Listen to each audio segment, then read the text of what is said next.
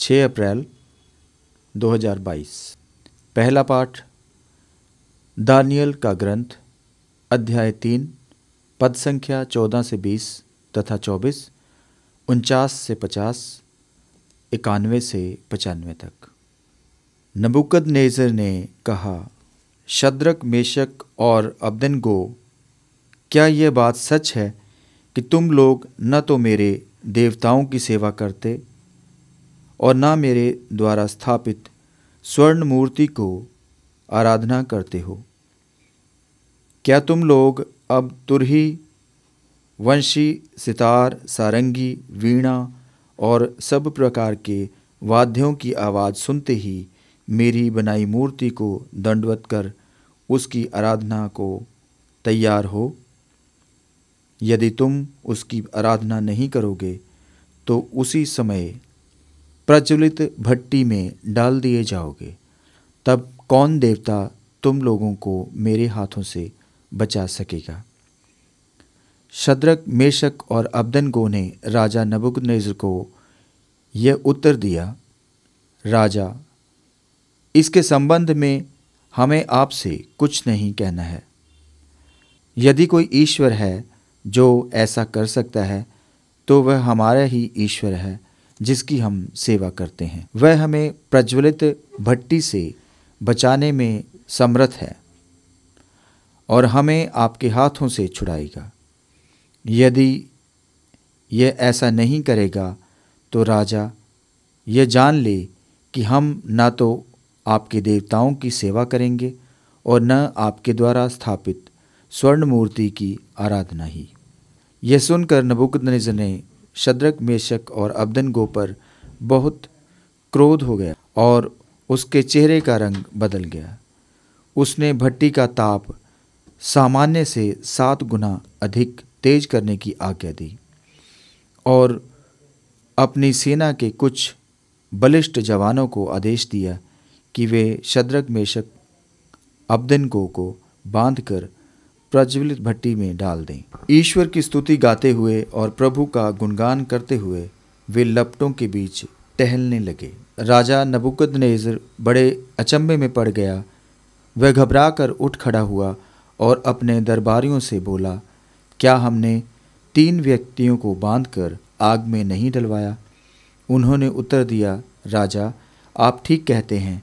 इस पर उसने कहा मैं तो चार व्यक्तियों को मुक्त होकर आग से सकुशल टहलते देख रहा हूँ। चौथा स्वर्गदूत जैसा दिखता है। नबुकत नेसर ने धधकती भट्टी के द्वार के पास जाकर पुकारा, शद्रक, मेशक और अब्दन गो सर्वोच्च ईश्वर के सेव को बाहर निकल आओ। इस पर शद्रक, मेशक और अब्दन गो आग से बाहर निकल आए। क्षत्रप अध्यक्ष, राज्यपाल और मंत्रीगण तीनों को देखने के लिए एकत्र हुए। उनके शरीरों पर आग का कोई लक्षण दिखाई नहीं दे रहा था। उनका बाल तक बांका नहीं हुआ था। ना ही उनके पजामे झुलसे नहीं थे और ना ही जलने की गंध तक लग पाई। तब नबुकदनेज़र बोला धन्य है शद्रक, मेशक और अब्दनगो का ईश्वर। उसने अपने दूत को भेजा है, जिससे वह उसके उन सेवकों की रक्षा करे, जिन्होंने ईश्वर पर भरोसा रखकर राजा की आज्ञा का उल्लंघन किया और अपने शरीर अर्पित कर दिए, क्योंकि वे अपने ईश्वर को छोड़कर किसी अन्य देवता की सेवा या आराधना नहीं करना चाहते थे। यह प्रभु की वाणी है। ईश्वर को धन्यवाद। भजन अनुवाक्य हे प्रभु तेरा महिमान्वित पवित्र नाम धन्य है सदा सर्वदा प्रशंसनीय महिमामय और सर्वोच्च। हे प्रभु तेरा महिमान्वित पवित्र नाम धन्य है सदा सर्वदा प्रशंसनीय महिमामय और सर्वोच्च। हमारे पूर्वजों के प्रभु ईश्वर तू धन्य है सदा सर्वदा प्रशंसनीय महिमामय और सर्वोच्च। तेरा महिमान्वित पवित्र नाम धन्य है। सदा सर्वदा प्रशंसनीय महिमामय और सर्वोच्च। अनुवाक्य। हे प्रभु तेरा महिमानिवत पवित्र नाम धन्य है। सदा सर्वदा प्रशंसनीय महिमा में और सर्वोच्च। तू अपने महिमान्वित पवित्र मंदिर में धन्य है। सदा सर्वदा प्रशंसनीय महिमामय और सर्वोच्च अनुवाक्य। हे प्रभु तेरा महिमानिवत पवित्र नाम धन्य है। सदा सर्वदा प्रशंसनीय महिमा में और सर्वोच्च। तू अपने राज्य के सिंहासन पर धन्य है। सदा सर्वदा प्रशंसनीय महिमामय और सर्वोच्च अनुवाक्य। हे प्रभु तेरा महिमानिवत पवित्र नाम धन्य है। सदा सर्वदा प्रशंसनीय महिमा में और सर्वोच्च। तू महागर्त की थाह लेता और केरूबों पर विराजमान है। तू धन्य है सदा सर्वदा प्रशंसनीय महिमामय और सर्वोच्च। अनुवाक्य। हे प्रभु तेरा महिमानिवत पवित्र नाम धन्य है। सदा सर्वदा प्रशंसनीय महिमा में और सर्वोच्च। स्वर्ग में विराजमान प्रभु तू धन्य है सदा सर्वदा प्रशंसनीय महिमामय और सर्वोच्च अनुवाक्य। हे प्रभु तेरा महिमानिवत पवित्र नाम धन्य है सदा सर्वदा प्रशंसनीय महिमा में और सर्वोच्च। जय घोष। ए मसीहा तेरी महिमा और स्तुति हो। ए मसीहा तेरी महिमा और स्तुति हो। अच्छी भूमि पर गिरे हुए बीज वे लोग हैं जो सच्चे और निष्कपट हृदय से वचन सुनकर सुरक्षित रखते हैं और अपने धैर्य के कारण फल लाते हैं।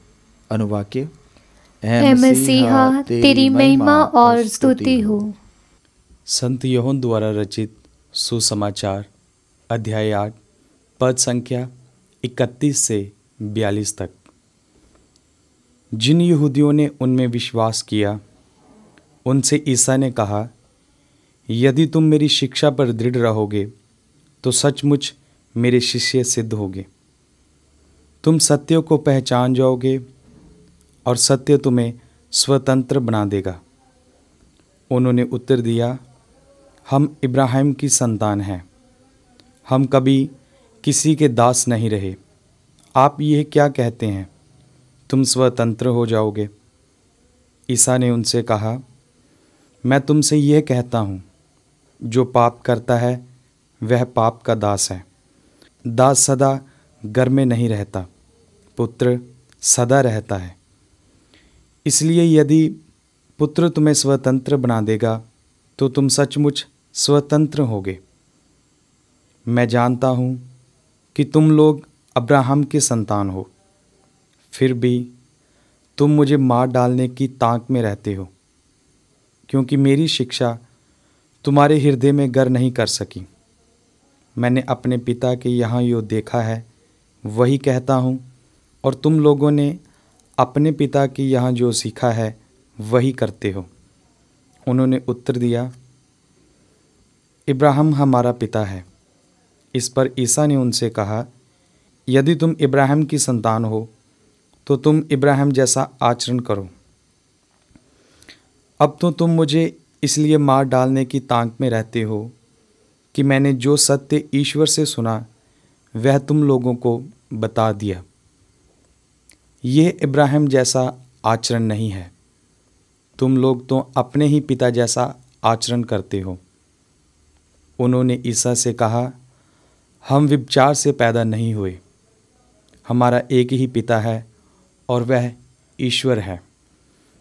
ईसा ने यहूदियों से कहा, यदि ईश्वर तुम्हारा पिता होता तो तुम मुझे प्यार करते, क्योंकि मैं ईश्वर से उत्पन्न हुआ हूँ और उसके यहाँ से आया हूँ।